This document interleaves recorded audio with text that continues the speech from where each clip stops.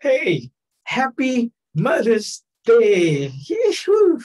Well, to all mothers, Today is your day. You're loved, you are uh, appreciated, you are cherished by your family members because you have done so much for them. You love them, you pray for them, you sacrifice so much for them and for everybody else's well-being beside yours. And hopefully today, today, your family will appreciate you, taking you out for a good dinner and do all the housework, housework chores for you. All right.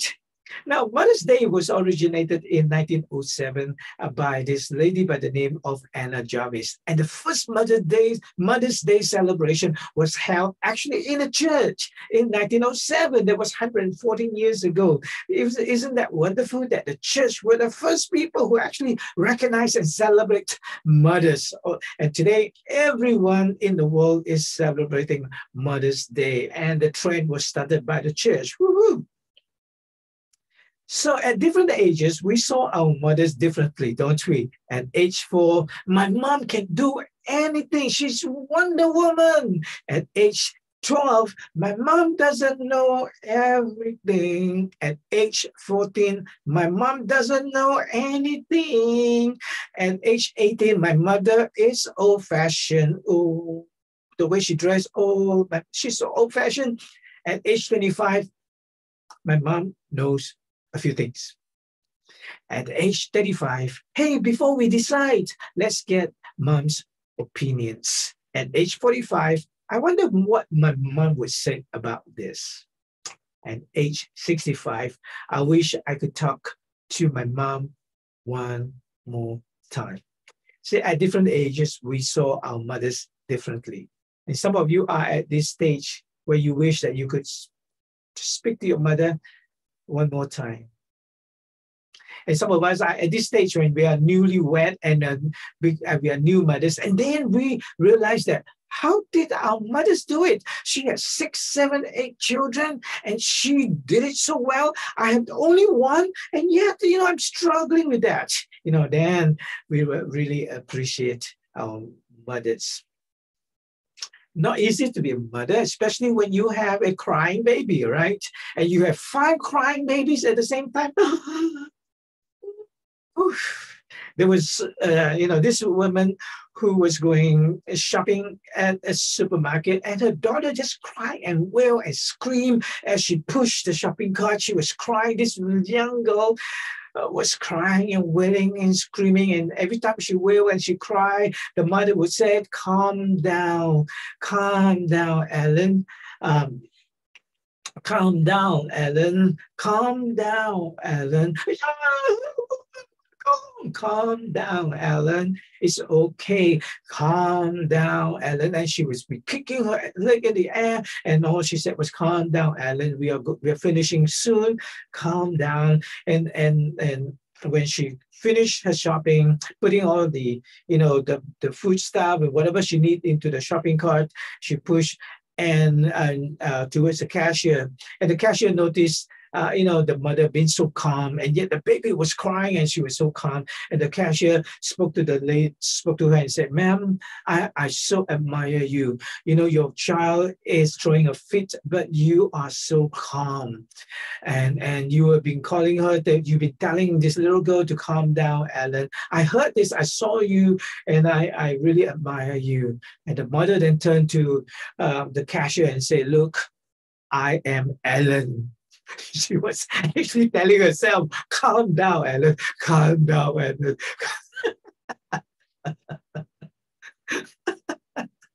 How many mothers are out there like that?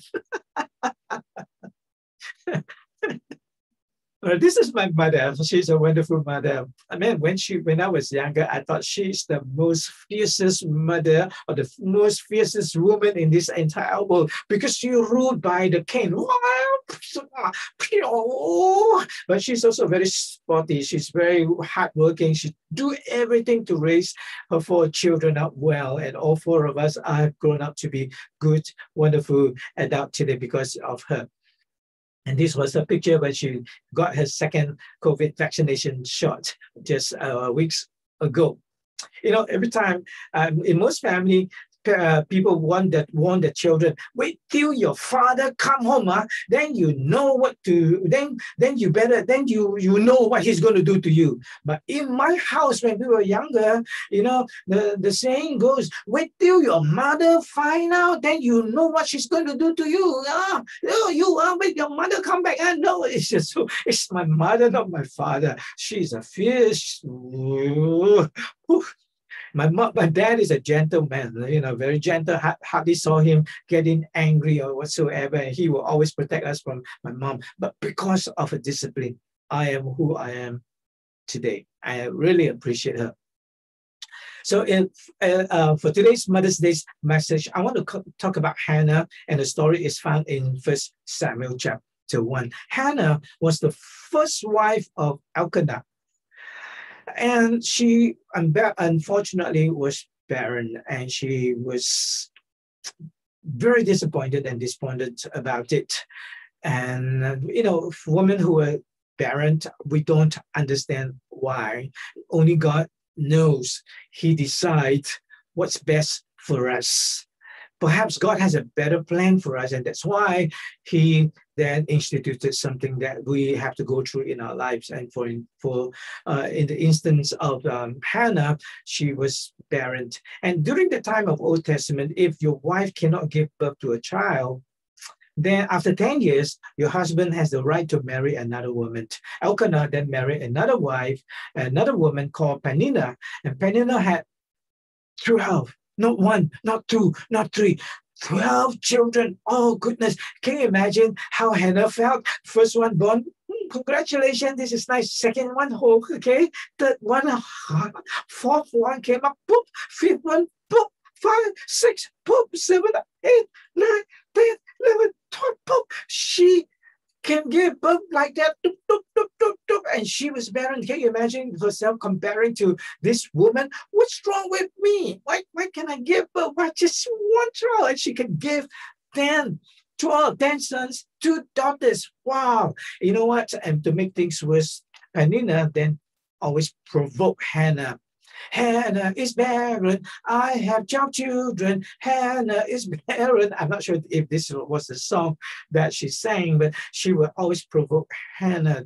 And Hannah was very, very despondent. And she would go to God in prayer. She she kept praying and praying and praying and praying and praying, and she never stopped praying.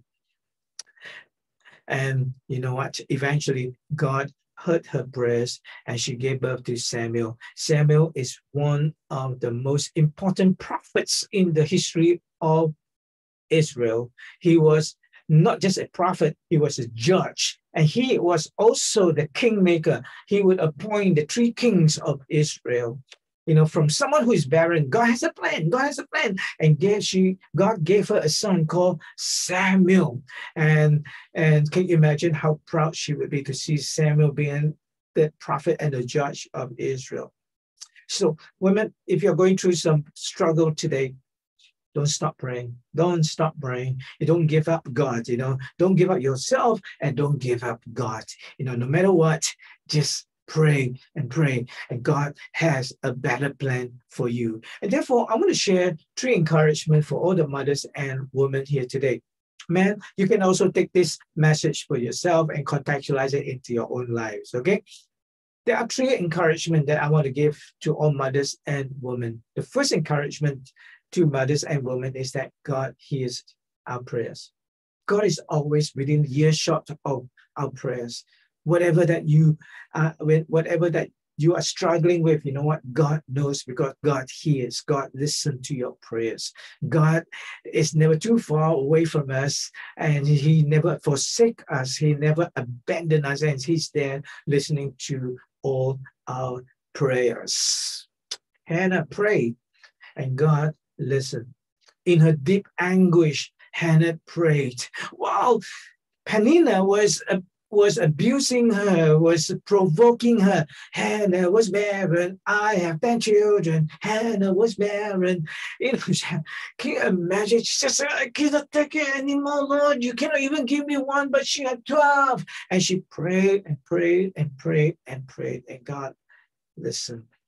No matter what it is, even when God is not answering your prayer, always believe that there is a plan that perhaps God may have for you. Don't stop praying. Don't stop communicating with God. Pray. Prayer is not a just a spiritual act.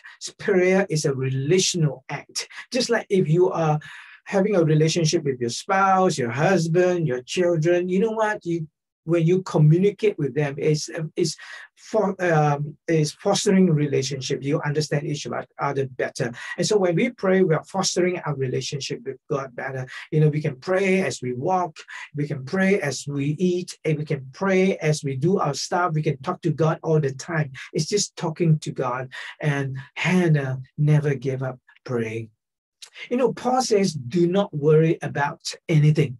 But pray and ask God for everything. And when you pray, always give thanks. And this is the way to pray. So, hey, leave your worries behind and connect with God. Right? Connect with God and know that God hears you.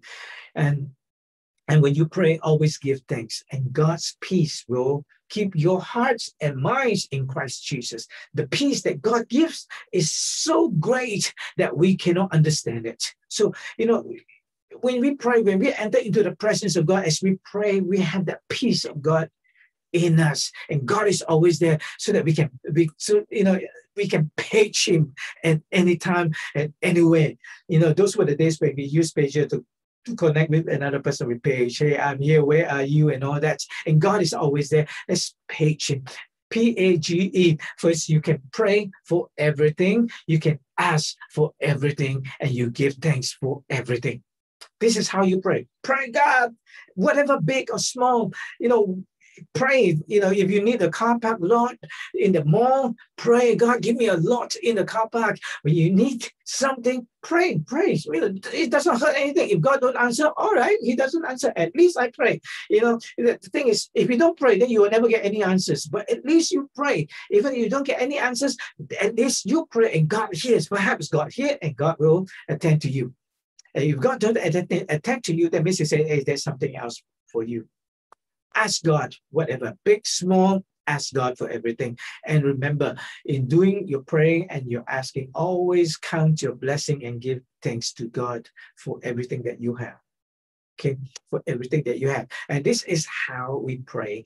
Pray for everything, ask for everything, then give thanks for everything because God hears your prayer. God is always there. He's always in the earshot of your prayer. He's always there. When you say, God, when you turn to Him, He will turn to you. When you run to Him, He's already there. He's always there for you mothers be encouraged no, no matter what's going on with your children perhaps they have behavioral problems or situations that beyond you pray pray and ask you know and just be reminded that god hears god hears our prayer because in Jeremiah 33, verse 3, it says, Call to me, and I will answer you and tell you great and unsearchable things that you do not even know. So sometimes, you know, when we pray for this A, but God answer us with C because C is much better than A. But we are so fixated on A that when God doesn't answer A, we thought, oh, something is wrong with us. God don't love us. No, God has a better plan. Perhaps C is better than a, and therefore He's trying to direct you to A. So God hears your prayer and He wants to direct you to a better path that He has planned for you. Number one, the first encouragement for all the women and uh, mothers and women who are listening in today, God hears. Number two, God heals. He can heal any illness and any diseases. So in First Samuel chapter 1, verse 20, in the course of time, not sure how long, just like Sarah, she gave birth at 99 years old. But you know, everything is possible with God. So in the course of time, uh, remember her rival, Peninnah, had 12 children. That means if every year Peninnah gave birth to a child, this the waiting could be 12 years, or the waiting could be 20 years, we do not know. But in the course of time, Hannah became pregnant and gave birth to a son. Woohoo! And she named him Samuel because saying, Because I have asked the Lord for him. God heard her prayer and God healed Hannah of her womb, uh, her closed womb. You know, Jesus has always been concerned about children. You know, when he saw children, he asked the children to come to him. You know what? Children, uh, God, children has a special place in God's heart. Uh, and in the New Testament, you know, Jesus healed Jairus' daughter, raised Jairus' daughter from the dead, and then he healed this official son uh, in John chapter 4. And initially, when, when this official they, uh, the, came to Jesus, Jesus wasn't so willing to talk to him, but this official son persists and begged and pleaded with Jesus, and Jesus saw his faith and then went to his home and healed the son. And he also raised a widow's uh, widow's son from the dead in Luke chapter 7. She was desperate. She cried out to God, God, can you please help me? Help me, help me. You know, can you heal my son, please? And God raised that widow's son. And God also, Jesus also healed a boy of epilepsy in Mark chapter 9. And then she delivered a woman's demons, a woman's demon-possessed daughter in Matthew chapter 15. So all these are children that God has concern about. And he then healed them. God listened and God healed. God can do it. All things are possible with God. You know, the, the common facts about all the parents in that in those situations uh, where Jesus healed the children, there there's something that's common uh, that's among, among the parents. Number one, they were all desperate. You know, all parents would be would be desperate if their children have, have fallen ill. And or maybe they have gone wayward because of their love for the child. Perhaps that's why they were feeling desperate the parents were also confused. What's going on? What what have I done something wrong with my life? What's going on? And then they were persistent. They have not, they do not give up. When Jesus was saying, Why are you calling me? There's please, please, you had you, you know, they pleaded with him. And one thing that they all have in common to help them is that they believe that this is the Son of God. And he is the miracle working God. You know what? God has healed before, he can heal again. God has touched lives before, he can touch lives again. God has changed lives before, and he can change lives again. God has transformed lives before, he can transform lives again. Your children is no different. If God has done it before, he can do it again. Just believe. He told Jairus, four powerful words. Don't worry, just believe. And remember, God is still a miracle working God. So, first two encouragement for mothers and women God hears your prayer. God still in the miracle working business. He can still do it. And we have so many testimonies of how God has healed many. Third, encouragement for mothers and women. God honors you. And when God honors you, he give you favor and you can do all things through Christ who uh, you. God honor those who honors him. You know, in First Samuel chapter 1, verse 11, when when Hannah went to the temple, she prayed. She prayed. She said, Lord Almighty, if you will only look on your servant's misery and remember me, and do not forget your servant, but give her a son, then I will give him to the Lord for all the days of his life, and no razor blade will ever be used on his head. You know, the meaning of no razor blade will ever be used on his head is that the mother Hannah would consecrate this child to the temple. And, during the temple, in the service to the temple, they don't cut their hair. And therefore, she was willing, if you give me this child, I will honor this child by consecrating this child to serve you in the temple. And she is willing to do that.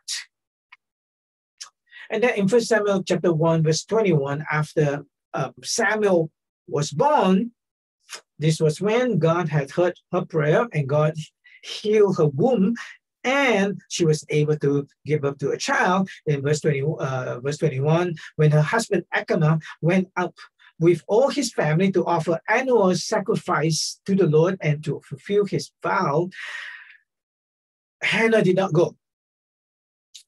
She said to her husband, After the boy is weaned, I will take him and present him before the Lord, and he will always live there, always. And so she wanted to nurse him, you know, to feed him, to make sure that this child grows up, this little baby grows up to be a strong little boy. And once he is strong and he is ready and he is healthy, she wanted to present him to the temple, uh, and to the service of the temple the right way.